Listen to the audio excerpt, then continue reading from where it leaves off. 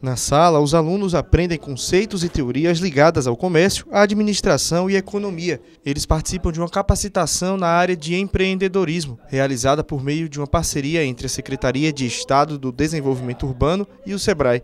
O curso tem duração de oito dias e é voltado para pessoas como Nádia Moura, que há 12 anos vende doces e produtos de artesanato. Aqui, na verdade, eu estou aprendendo a ter conhecimento aprender a como montar a minha própria empresa, meu próprio pequeno negócio que eu estou, né, já, já trabalho, mas que é ainda no mercado informal e que eu pretendo mais na frente formalizar esse negócio. Então aqui eu estou buscando conhecimento como eu colocar o meu próprio negócio. Outro participante da capacitação é Valdino Barreto. Ele vende móveis usados, mas tinha dificuldades em administrar o dinheiro obtido com essas vendas.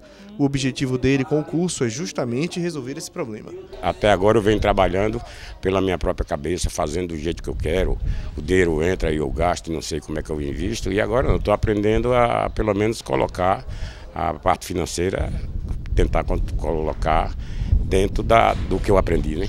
O curso de capacitação em empreendedorismo é voltado para as pessoas que vão morar aqui nesse conjunto habitacional. No total, são 580 famílias que podem participar das aulas e aplicar o conhecimento nos seus próprios negócios. A capacitação compõe um projeto que envolve também a educação ambiental, já que a área onde o conjunto está sendo construído fica próxima a um manguezal, que é a área de proteção. Essa é a primeira turma do projeto, mas há a possibilidade de que novos grupos sejam formados. Só com esse tipo de curso é, é que eles vão poder ter acesso a esse conhecimento. Então, é, nós focamos primeiro em empreendedorismo para fortalecer essa questão, esse, esse é, aspecto, né, esse ator empreendedor que esse pequeno comerciante já é.